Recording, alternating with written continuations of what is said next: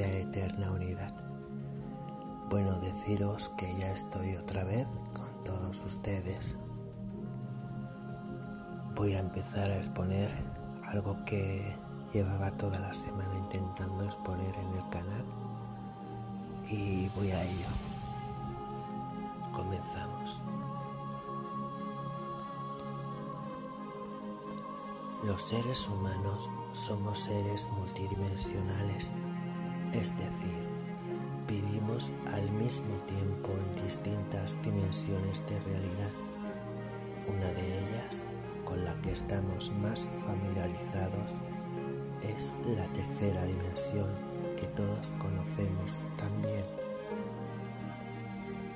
Las dimensiones no son otra cosa que distintos niveles de realidad pero la realidad está formada por energía y por conciencia.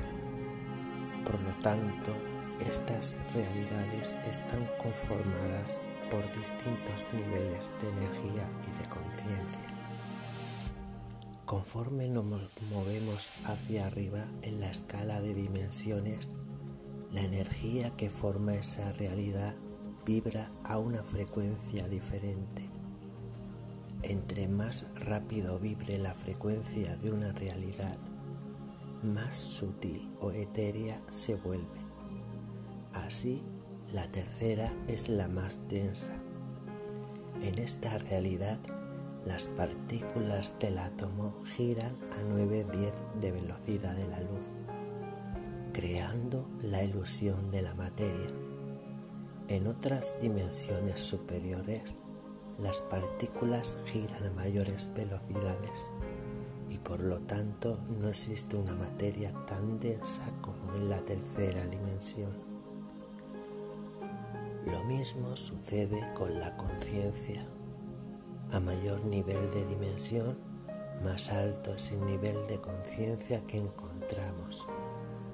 La conciencia podría explicarse como el nivel de perfección de la realidad en donde nos encontramos. Entre más densa es la realidad por su frecuencia vibratoria, menor es nuestra perfección de nuestra realidad y de las demás realidades que existen. Si el ser humano es un ser multidimensional, significa parte de nosotros están viviendo en esta dimensión que conocemos y parte de nosotros están existiendo en otras dimensiones y realidades. Pero todo está sucediendo al mismo tiempo, en este instante. Si existen partes de nosotros que están viviendo en dimensiones superiores, podemos deducir que estas partes están vibrando en frecuencias superiores y también tienen niveles de conciencia más elevados. Nuestro ser superior no es otra cosa más que el conjunto de esas partes de nosotros que están habitando frecuencias de energía y de conciencia superiores. Nuestro ser superior somos nosotros mismos experimentando otras realidades. Cuando encarnamos en esta tercera dimensión, pasamos por algo que se conoce como el velo del olvido. Una de las cosas que olvidamos es precisamente que existimos en distintos planos de realidad que por lo tanto podemos conectarnos con todas nuestras partes. En este momento de la historia de nuestro planeta, este velo del olvido se está haciendo cada vez más delgado y nos está dando la oportunidad de recordar la totalidad de todo lo que somos y de interactuar con más partes de nuestro propio ser. Nuestro ser superior ya se encuentra en contacto con nosotros en este momento. No es algo que tenemos que aprender a hacer, porque es algo que está sucediendo para todos y cada uno de los seres humanos. El ser superior podría ser comparado con nuestro concepto de la intuición, que todos experimentamos en mayor o menor grado en nuestras vidas. Algunos suelen hacerle caso y otros no, pero está allí, siempre esperando comunicarse con nosotros a través de cualquier mensaje sutil que podemos captar. Si el ser superior ya se encuentra comunicándose con nosotros, ¿por qué no nos damos cuenta? Porque hemos aprendido que lo único que existe o que es real es lo que pueden captar nuestros cinco sentidos físicos. Y muchas veces sentimos que lo único que somos en este cuerpo físico, dentro de esta realidad de la tercera dimensión.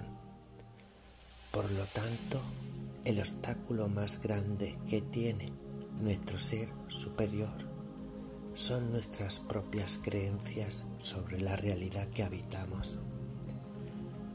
Para establecer una comunicación más estrecha con este otro aspecto de nuestro ser, tenemos que comenzar a cambiar nuestra perfección en nuestras creencias sobre lo que somos y, como todo, comenzar a practicar. No es necesario estar días y horas meditando para alcanzar esta comunicación. Solo se requiere de nuestra intención, de nuestra constancia y de nuestra confianza aunque nuestro ser superior somos nosotros mismos, nuestra mente racional y nuestro sistema de creencias encuentran muy difícil entender este concepto, por lo que en un principio tendemos a considerarlo como un aspecto separado de nuestro ser.